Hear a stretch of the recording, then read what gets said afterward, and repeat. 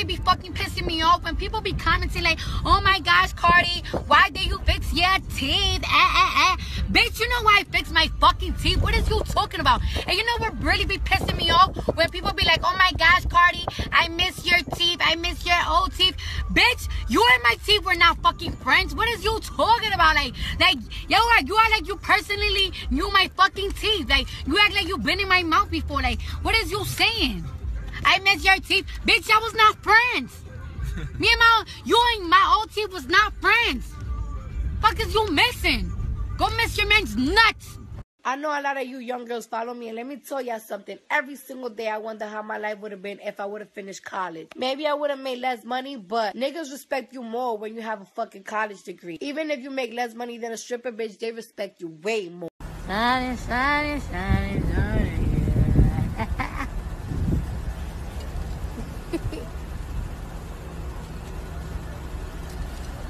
Okay, that's on the screen.